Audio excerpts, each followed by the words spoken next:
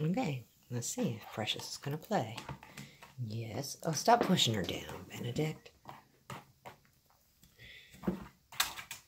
Yeah, Precious is having some fun. She just had lots of breakfast. She ate some Purina veterinary diets, and she also ate some beef baby food again, like she had in the middle of the night when I came to visit her at 1 a.m., 1.30. There's my girl.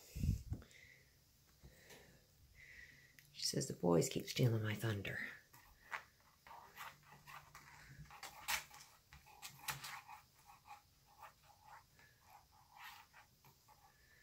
Three beautiful black and white babies. Precious and her brother, whoops, Cuddles just jumped up there. And a brother from another mother, Benedict. We gotta find the rest of your family, Benedict, and rescue them so they can have fun here. Gonna change our name from Healing Animal Scars to Black and White Kitten Rescue. That's all we got right now out here. We got some beautiful gray ones over at Karen's in Foster, though. Okay, pretty. Tell Anne Marie you're liking it here. That you've actually gained some weight back already.